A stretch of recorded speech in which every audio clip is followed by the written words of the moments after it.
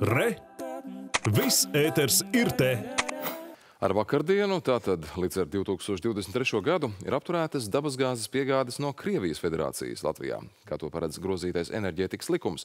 Tiesa uzņēmumā Konexus norāda, ka jau līdz šim dabasgāzes apjoms, kas saņemts no Krievijas, ir pamatīgi sarucis un gāzi pamatā saņemam no Klaipēdas termināļa. Kā un vai izmaiņas dabasgāzes piegādes maršrutos un apjomā ietekmēs Latvijas patērētājs, iedzīvotājs un uzņēmums? Un vai savienojuma jauda ir pietiekama, lai vajadzīgo apjomu piegādātu no Lietuvas un šogad arī no Somijas? Pie mums studijā ir Konexas valdes priekšsēdētājs Uldis Baris. Labrīt! Labrīt! Labrīt. Sarunas aktualitāte bez šaubām ir Krievijas dabasgāzes plūsma apturēšana, kā mēs zinām, ar enerģētikas likumu noteikts no vakardienas pārtraukts.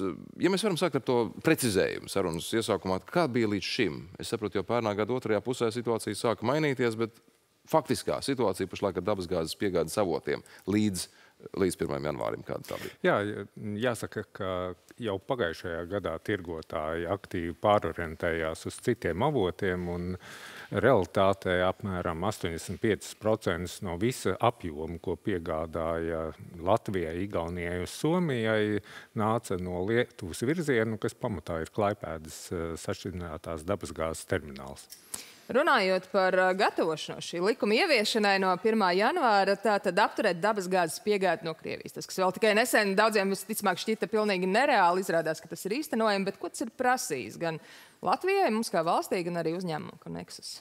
Organizatoriski, tehniski. Jā, nu, protams, tas bija visiem iesaistītājiem ļoti saspringts darba periods, jo mums kā sistēmas operatoriem bija būtiski jāpārveido gan infrastruktūras pieejamības process, gan Somijas kolēģiem kopā ar Igauniju izdevās izveidot šo otro terminālu, kas jau pagājušā gada beigās arī faktiski uzsāka pirmos testus. Tad Somijā ir vēl viens tāds pats termināls kā Lietuvā. Viņš gan pašlaik nedarbojās uz pilnu jaudu, jo tikko ir ieradies. Tas termināls pēc būtības ir vēl viens kuģis, tāpat kā Lietuvā kuģis Independence.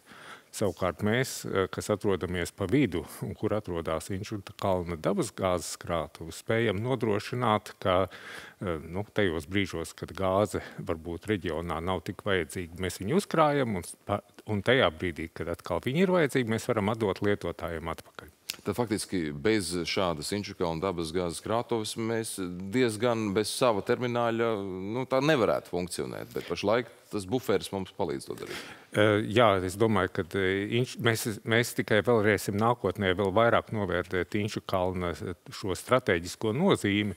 Varbūt līdzīgi kā iepriekšējā sižetā, kur jūs redzējāt, stāstījāt par saules paneļiem un vēja ģenerāciju. Tur bija klāt nepieciešams vēl viens aktīvs, kas stabilizē sistēmu, tas ir, kas nodrošina elektroenerģiju tajā brīdī, kad saule nespīd, vējš nepūš. Tieši tāpat arī Inčukalns. Viņš nu, stabilizē gan gāzes apgādes sistēmu, gan arī elektroenerģijas ražošanu tajā brīdī, kad eh, nu, tie citi avoti nav pieejami. Kāds ir eh, krautuvs aizpildījums pašlaik? Jo vienu brīdi, tas bija pagājušā gada, tur bija augšā lejā. Tādas dažādas runas un pārunas ir, nav, pietiks, nepietiks, ir daudz, bet rezervēts citiem un tam līdzīgi varbūt par pašreizējo brīdi. Jā, jāsaka, pašreizējais brīdis ir ļoti, ļoti labs. Mums atrodās 11,2 teravatstundas eh, gāzes apjoms, kas nu, vienkāršoti pārvedot ir apmēram 11 tāda veida kuģi, kas pienāk Klaipēdas ostā. Tagad tas salīdzinājumam Latvijas gada patēriņš pagājušajā gadā ir bijis nedaudz zem 9 teravatstundām. Tas, protams, ir stipri samazināts, jo, protams, cenas dara savu un arī droši vien bažas par pieejamību, bet tas ir ļoti liels apjoms šo brīdi. Līdz ar to šai ziemai gan mums, gan arī reģiona kaimiņiem nu, tāda īsta uztraukuma par pieejamību nav. Zinu, ka daudziem noteikti arī interesē jautājums, vai un, un kādā veidā tiek uzraudzīts tranzīts, vai Krievijas gāzi nevar kā saschēmot un tā paklusot, tā teikt. Ar līkumiņu piegādāt no citurienes, tāds ar trešo valstu. Jā, šajā brīdī situācija ir tāda, ka gan Lietuva, gan Latvija, gan Igaunija juridiski ir pieņēmuši lēmumu, kad Krievijas gāze nevar tikt izmantot patēriņam. Līdz ar to tā juridiskā skaidrība, manuprāt, mūsu reģionā ir absolūti viennozīmīgi. Tas, kas, protams, tehniski ir iespējams, ka joprojām tiek nodrošināts tranzīts uz Klaipēdu no Krievijas teritorijas, bet pamatā tas ir caur Lietuvas sistēmu. To nodrošina mūsu kolēģi no Ambergrīda. Savukārt atsevišķos gadījumos tas var notikt caur Latviju, bet mēs nesagaidām, ka tas ir nu, kaut kāda bieža parādība. Un arī nu, tranzītu, protams, var kontrolēt ļoti viegli, kas ienāk, kas iziet. Mēs zinām, ka gāzes apjoms bez šaubām šogad ir diezgan būtiski samazinājies par trešo daļu, ja nemaldos. Ja, bija Jā, apmēram 30%. Kopumā. Tomēr ir nozares dažas, kas ir nu, diezgan siltumietilpīgas, enerģijas ietilpīgas, kurās, ja nerunājam tikai par atsevišķām aizsaimniecībām, nu, bez gāzes ir visai sarežģīti iztikt. Vai šis pavērsiens tagad importa piegādes ceļu izmaiņas kaut kā var šīs nozares ietekmēt vai sarežģīt tam dzīvi, kam tiešām ir nu, dabas gāze vajadzīga, kura šķeldu nevar izlīdzēties vai ar atjaunīgiem resursiem? Jā, nu, jāsaka, ka šie, šis jaunais importa ceļš mums nodrošinās, ka gāze kā produkts noteikti būs pieejams. Tā, es domāju, ka nākošajā sezonā mums vairs nebūs nu, tā, jāsatraucās par to, vai mēs esam pietiekami daudz uzkrājuši. Jautājums ir cits par cenu. Un, diemžēl, vai arī no otras puses par laimi, gāzes cena tomēr nosaka pasaules cenas. Tā nav tikai mūsu vietējā vai lokālā cena. Tad šādas gāzes cenas būs visā Eiropā. Līdz ar to mēs, eh, mēs, protams, esam ieintegrēti kopējā tirgu, un, un pašlaik tās cenas ir Eiropā samazinājušās, kas ir laba ziņa eh, lietotājiem. Ja es saprotu, ka jūs neesat gaišreģis, bet eh, varbūt ir iespēja ieskatīties nedaudz uz priekšu. Arī, kas notiek šobrīd, biežās viens, bet kas būs rīt, parīt, aizparīt. Oi, tad es noteikti strādātu kādā investīcija filmā. Kā, ne, to, to es nemācēšu pateikt, bet, protams, kad jo vairāk no ekonomikas spēja adaptēties, tas šoka moments pāriet. Es ceru, ka tās vismaz tās milzīgās cenu, e, cenu pīķi, kādus mēs redzējām pagājušajā gadā, šogad vairs nebūs. Nesen tika ziņots par to, ka no novembra pātrinātā kārtā palielinot starpsavienojumu jaudu virzienā no Lietuvas uz Latviju līdz pat 90 gigawatu stundām dienā ir būtiski atvieglotas sastrēguma situācija starpsavienojuma punktā.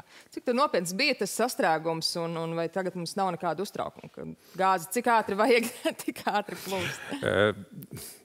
Nu, uz, e, e, kaut kādi riski vai uztraukumi jau vienmēr pastāv. Un jebkurā tehniskā sistēmā viņi ik pa laikam ir jāremontē, un līdz ar to ir jāveido atslēgumu uz remontu laiku.